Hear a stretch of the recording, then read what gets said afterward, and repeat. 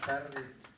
Eh, qué emoción, la verdad. Eh, yo no voy a dar muchos agradecimientos para no llevar mucho tiempo. Les agradezco a todos.